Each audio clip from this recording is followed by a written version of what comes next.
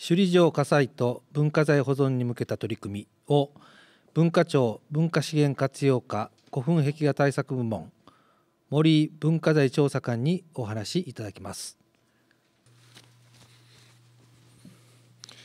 えっと、ご紹介ありがとうございます。えー、文化庁の森と申します。えっと、私、あの、専門は保存科学でして、えっと、普段は、あの、文化庁の方で高松塚古墳や木虎古墳の、えー、保存整備、そして活用に関する、えっと、事業を、えー、進めておりますが、えっと、平人として、あの、美術工芸品が所在する、えー、例えば、え、お寺や神社などの、え、防火設備、そういったところの、えーと、補助を、え、担当もしております。え、今回は、えーと、その担当者の一人として、その令和元年のえー、10月31日未明に発生した、えー、世界遺産首里城の、えーと、正殿及び周辺の火災と、あとその、えーと後の、えー、文化財保存に向けた取り組みについてお話の方をさせていただこうと思います。えっと、世界世界文化遺産、えー、首里城で火事、えー、正殿など全焼という、えー、ニュースは皆様も大変大きな衝撃を受けて、えーとえーと、ご覧になられたんではないかと思います。私もインターネットで最その一報に接しまして、そしてあのドキドキしながら、えーと、文化庁の方に出勤してまいりましたら、もうすでにあの連絡担当の幹部等はもう出勤している状態でして、えーと、その後の対応に、えー、とバタバタバタしているような状況でした。えっ、と、もう文化庁の方では、その日の午前中には、えー、文化財調査官を複数名派遣する、えー、そういったことをもう決定しまして、えー、その場で、えーと、那覇行きの、えー、飛行機のチケットを取って、で、えー、もうその日中に、えーと、現場に入ってっていうような対応を、えー、していたことは記憶に新しいです。で私も、えーと実は第二陣としてその3日後からえっと、現場の方に入らせていただきまして、でその3日後の現場では何が起こってたかといいますと、えー、火はほとんど、えー、消えていたんですが、あのえあれですね、えーと、収蔵庫の中にある動産文化財美術工芸品を、えー、救出するタイミングであのその場で立ち会うことができましてそれでいろんなことを、えーと、現場で勉強してまいりました、えー、その一端を今日のこの講演の中でお話しできればと思います。えっと、今、えー、お見せしているのは、えっと、首里城正殿、あのあれですね、火災の後に、えー、こちらの方を所管しております内閣府の沖縄総合事務局の方がドローンで撮影した画像になります。えっと燃えている画像というのはあのそれこそ今 YouTube を見ればあのいろんな、えーと、ニュース画像が、えー、ご覧いただけますが、えーと、燃えあの消えた後にど、えー、その惨状というものも、えー、こういったドローンの画像からご覧いただけるかと思います。えっと、火元建物である正殿を中心に、ウナーと呼ばれる正殿周りのエリアの、えー、主要な建物は全焼しました。えっと、消防庁、総務省消防庁が発表している、11月6日に発表した資料によりますと、えっと、未明というのは 2, 2時41分の、えー、各地時刻となりまして、こちらの方は、えっと、もともと警備員の方が、えー、防犯ベルが鳴ったことで、それで、えー、危険、えーと、異常を察知して、えーと、静電の現場の方に行ったら、えー、火が燃え上がってた、そういったことを確認し、そして消防署の方に、えー、通報をしております。でその後、えー、たくさんの消防車が、えーと、あと消防団の人たちがやってきて、えー、消そうとするんですがなかなか、えー、燃え上がった火の手は、え消えることなく、え8時間もかかってやっと鎮圧そして鎮火はその後2時間半後になります。で出火原因なんですが、えーと、マスコミ等でいろいろ言われているんですがあ那覇市消防局によるとあの、えーと、証拠となるものがもう燃えあの消失してしまっているのでなかなかその原因に至っていないというのが現状でございます。で私がその3日後に訪れた時に撮った写真ですが、えーと、南殿から見た全,、えー、全焼した正殿となります。もうあの木柱を構成するあの木材はすべて、えーと、消失しておりまして、えー、とところどころちょっとあのあれですね煙がくすぶっているような状況が、えーと、確認されていました。であの消防の方に怒られない程度にあのちょっと近くまで寄ってみたんですが、えー、と消したばっかりですのでまだ熱が帯びている状況でしてあのやあの沖縄の暑さにプラスしてこの火災の後の暑さっていうものが加わってあのそれはまたちょっと異常な、えーと、環境でした。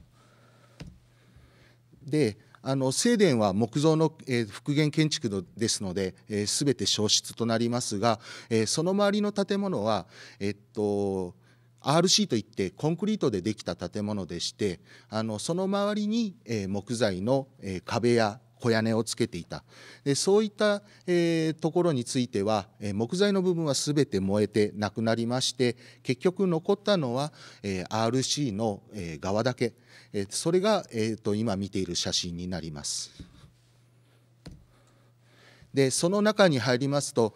もともと南殿というそのコンクリートでできた施設は、えー、展示や収蔵を、えーと、美術工芸品の展示や収蔵を目的とした施設ですが、えーと、展示室ここには美術工芸品は入っていなかったんですが、えーとあれですね、展示ケースのガラスは全部溶けてなくなりましてそして、えー、パネルもあの本当はその耐火性のあるパネルなんですが、えーと、割れてひびあの一部落ちているような状況がご覧いただけます。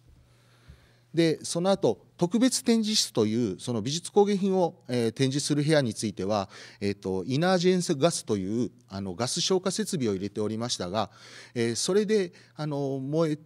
あれですねこの火災では燃えなかったんですがなぜか、えーと、その、えー、作品を救出する段になってダクトにちょっと残ってた火が、えーとまた再発火しましてそれで展示ケース内が、え、ちょっと火に火の手が回ってそれで助け出すのにガラス割って助けたその後の写真がこのような、え、状況です。で、えーと、私が行った時には、えー、収蔵庫の中に、えーと、おそらく、えーと助かっている文化財があるぞということでしてそれでその収蔵庫の扉を開けて中に入って美術工芸品を取り出すっていう作業を行っておりました。最初は、えーと、扉があの熱されておりましてと、えーと、開けるのもなかなかなか難しいのであの消防署の方が、えーと、エンジンカッターを持ってそれで長板のところを切りましてそれで、えー、とこのようにそ一番外の扉を開けております。でこの扉を開けた後っていうのはえー、と中でその不活性ガスを、えまず吹き出して消火をしているのとあと熱によってあの入れる状況ではないということもありましたので、えー、と温度は確認したりとかあと,、えー、と酸素濃度を確認し、え消防署の方で確認したりしながら安全な状況になって初めて収蔵庫内に入れる状況となりました。でその状況の中でえーと、ちょっと影になって見にくいかもしれないですが、えーと、美術工芸品の、えー、専門の、えーと、輸送業者さんがボランティアで、えー、このような形で搬出しております。えー、とこの収蔵庫、えー、と油インチ収蔵庫といって、えー、と RC の建物の2階建ての2階に位置するんですが、えー、と中に入るとえっと、サウナのように暑いそんな状況でしてあの私も入っただけで、えっと、作業着着てたんですがもう作業着がびちょびちょになるようなえそういう状況でした。でもう一つの南電特別収蔵庫っていうのはもう隣の建物の、えー、ちょっと半地下になったような、えー、場所からの、えーと、救出となりましたがこちらの方はそんなに温度も上がっていなくてで作品の方も、えーと何にも、えーと、被害がないような状況でした一般的にあの美術工芸品の収蔵庫は耐火収蔵庫という場所に収められることが多いです、えー、例えばこういう収蔵庫ですと、えー、4時間の耐火にあの火に耐えられるとか、えー、そういった触れ込みで、えーと、導入を、えー、決意するんですが、まあそえーと、場所によってはちょっと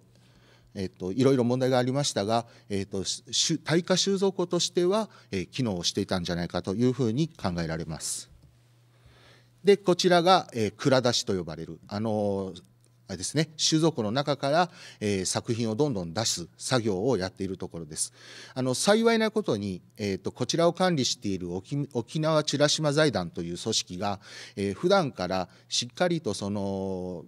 お借りしている作品持っている作品の、えー、データベースをしっかり持っていましたので、でそのデータベースを、えー、突合しながら、えー、一つずつ、えー、トラックに運び込んで安全な場所に移動しているところです。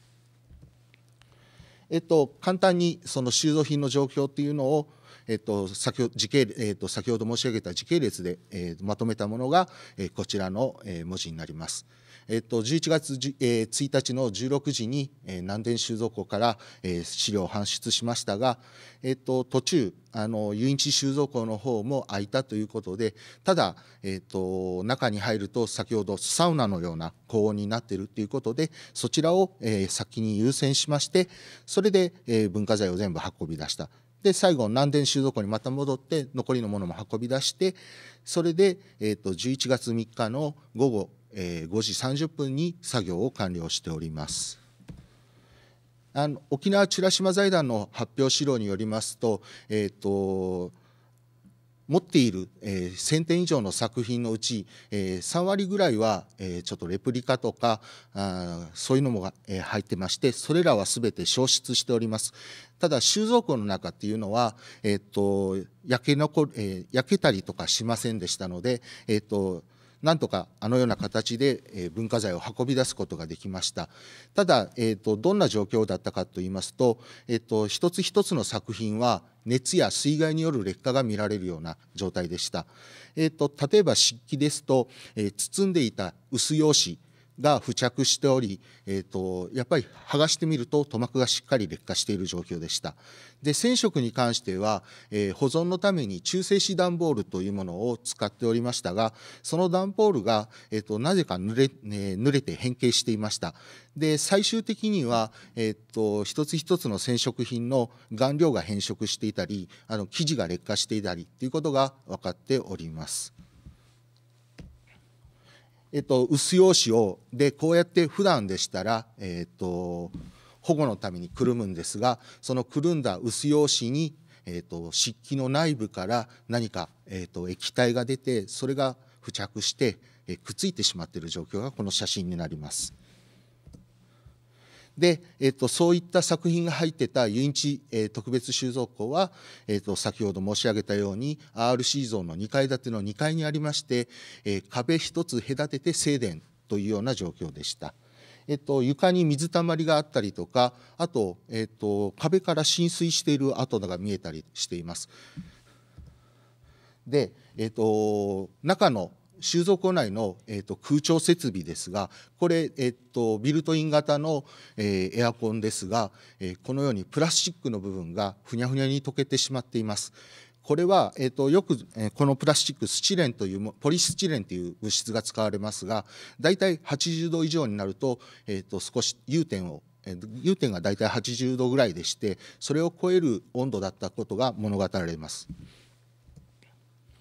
で搬出した美術工芸品ですが現在沖縄美ら島財団の中で、え、首里城美術工芸品等管理委員会、え、を、えーと、立ち上げておりましてその中に専門家が入って、えー、収蔵品の被害状況の把握や、え、今後の、え、保管管理の方向性について議論。そして、え、今後の収蔵品の修理の方法計画等についてまた話し合っているところです。え、現在、えーと、コロナ禍の中でなかなか人が集まることもままならず、え、実際のところは、え、一つ一つの、え、作品を見て修理設計をやっているところです。あの話によるとここから10年かかるかもしれないですしあと、え、億単位のお金が修理費としてかかってくるかもしれない、え、そういったお金をどこから捻出するかっていうのが大きな、なえー、と問題となっております。で、えっと、首里城正殿、えっと、現在、ニュースにもなっておりますとおり、政府の方で、えー、復元に向けた技術検討委員会というものが立ち上がっております。え、こちらの方は、えーと、令和2年、去年の3月27日に、えー、工程表というものを、えー、発表しまして、えー、基本的には現在と同じような形で設計し、工程を踏襲すると。で、そのそれに加えて、えっと、問題となったスプリンクラーであったりとか、えー、防火対策を強化すること、そして材料調達、えっと、以前の復元時でも、えっと、あのようなえー、と長い太い柱というものを手に入れるのは大変難しかった、えー、それの状況は今も変わりませんので、えー、材料調達の、えー、と状況変化なんかも、えー、と反映したものを、えー、今計画として立てているところでございます。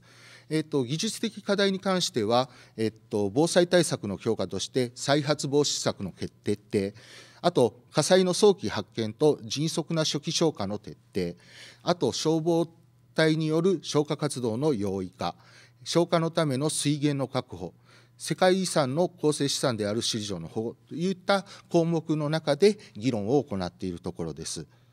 で、えっと、復元に向けた三本柱として、あのまず、えっと、国民の皆様に、えっと、復元の状況をちゃんと見てもらおうということで、段階的な公開というものを決定しております。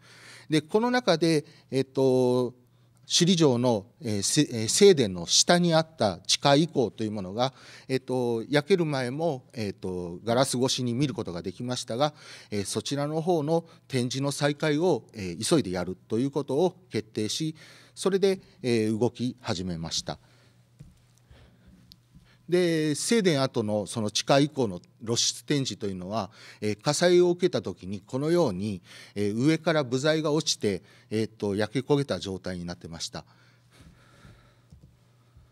でえっと、そのその決定の後、え一旦はブルーシートをかけて養生をしていましたが、え奈良文化財研究所の、え協力のもと、えっと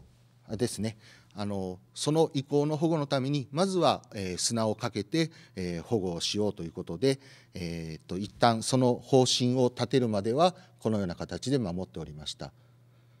で、えーと、一つ一つの、えー、石材が熱を受けまして、えーと、ボロボロになってましたので、えー、このままでは展示できないということで、えー、合成樹脂による強化を行いました。また、えーと、正殿が焼けた後ですので、えーと、本当の露出以降になっておりますので、えーと、雨風の影響を大きく受けるということで、プレハブの大イヤを建てることにいたしました。え、それで、えーと、今年の去年の6月にこのような形で、えー、と大イヤが完成しております。現在では、えー、とこの大イヤを見ていただくために、え、多くの、え、観光客の方に来ており、え、来ていただいておりますが、最近はまたコロナ禍の中でちょっと、えー、客足が伸びていないというふうに聞いております。で、あの移行この地下移行に関しては、このような樹脂処理をしたら終わりというわけではございませんで、この後にモニタリングをして、劣化状況というものをちゃんと確認し、で問題があったらすぐに対処するという姿勢が必要です。それをえーと、進めるにあたっては専門知識が必要ですので、え、奈良文化財研究所の協力のもと、え、モニタリングに関する研修というものを、え、現在進めております。それで、えー、地元の方にモニタリングをしていただいて、えー、もし問題が起こった時にはすぐに対処するというような方針で今進めております。えっと、私の方からの講演は以上です。ちょっと長くなって申し訳ございません。ありがとうございました。